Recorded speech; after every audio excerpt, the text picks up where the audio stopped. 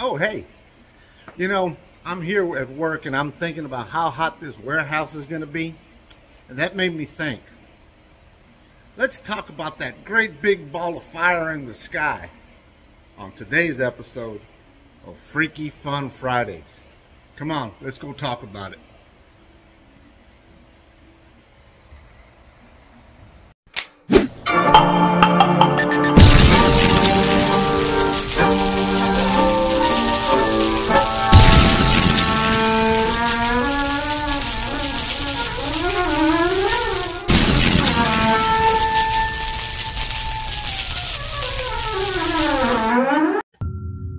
Yep, there's that big ball of gas, and I'm not talking about some of your relatives out there. I'm talking about, yep, the sun. 93 million miles away from us, and here in Texas, we sure do feel it like it's just right up against our ass because it is hot. Some of us are used to the heat, but that's okay. Did you know that that big ball of gas up there in that big old outer space it's so big, we can fit about 1 million Earths inside it. And there'd still be room for more planets. That is huge. And again, we're suffering from the heat, but you know,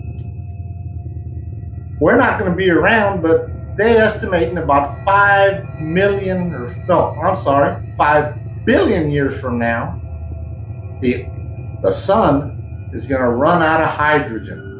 Don't ask me how they measure that shit. But they're gonna it's gonna run out of hydrogen, which is gonna cause cause total destruction of all life on Earth.